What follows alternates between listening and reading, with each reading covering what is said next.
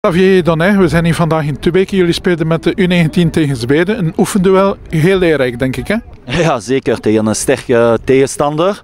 Dus uh, we hebben uh, ja, een goede prestatie geleverd, zeker in de eerste 45 minuten.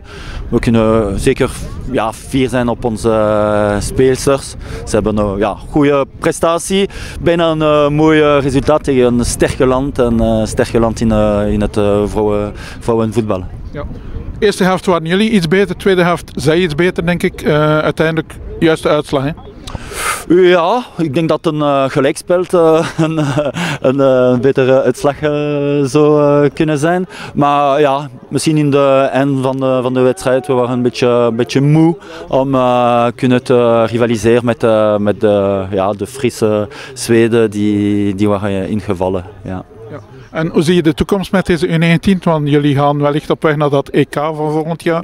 Ja, maar we, we wachten de, de loting uh, in, op de 23, de, ja, 23 november. Dus we, we openen een mooie, mooie loting. Uh, ja, het is zeker, we zijn in de, niet in de pot 1, dus we gaan uh, ja, ook tegen sterke tegenstander moeten spelen.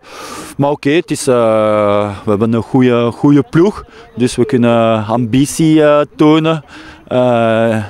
In, ja, ten opzichte van de elite rond en misschien, we weten nooit, de, de verrassing maken naar de EK. Oké, okay, ik dank je. Veel succes. Oké, okay, bedankt.